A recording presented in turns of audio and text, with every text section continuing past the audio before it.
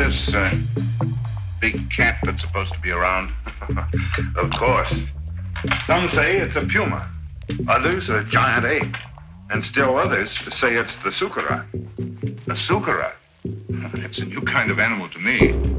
It's a famous jungle demon that tears living animals to shreds with its claws and then feeds upon them. Has been known to attack humans also. Hasn't so far, I hope. No, but I'm sure it will.